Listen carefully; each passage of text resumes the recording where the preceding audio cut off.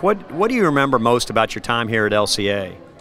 Well, there's a lot of things that come to mind, but um, you know, some of the golf memories we had, the trips we took together, the you know, the weekends that we spent on the road. Um, there were a few crazy cabin nights in uh, in in uh, Stonecrest and Prestonsburg and Eastern Kentucky.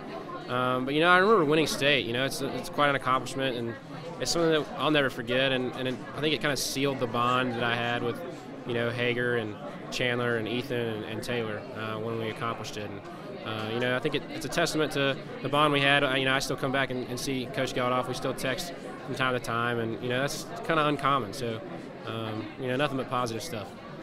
Well, and you've obviously gone on and done a lot of different things in your career, your young career. Um, where does being named Mr. Golf uh, in Kentucky rank among them? Well, you know, it, they only name one a year, so to say that you know my name is there is, is, is definitely an honor. Uh, you know, to be there with some, some big names, you know, Justin Thomas and uh, JB Holmes are two guys that have done it, and, and they've been PGA Tour winners. So um, just to have my name there alongside of them is, is, is an honor, and um, you know, it was a nice stepping stone to go into college, uh, kind of with that with that honor.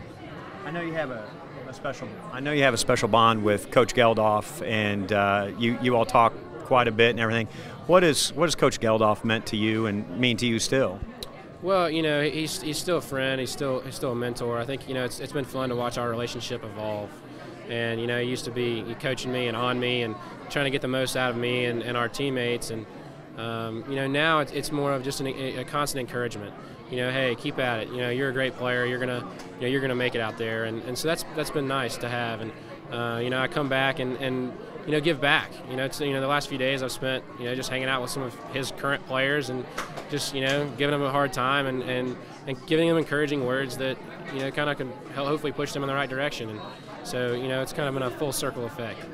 And last, you know, how do you think LCA prepared you for what you've gone on to do in college and now as you're professional and touring around? Uh, what, what is what did you take from LC, your experience at LCA? Yeah, I mean, you know, the golf stuff you really can't you can't learn in high school. You have to learn it on, on the go and, and at the next level. But I think LCA prepared me for life more than anything else. Uh, just the you know some of the classes here that I still I still take things from them. You know, Coach Siemens and Senior Bible. I mean, that's that's something I'll never forget.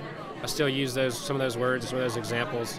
Um, you know, so it just laid the foundation for a way of thinking and you know a gospel-centered culture. And I think that's you know, really important. And it's something that's, that's stuck, what stuck with me, and you know, I'm hopeful that that's you know what LCA will be for its students, to, you know, for a long time to come.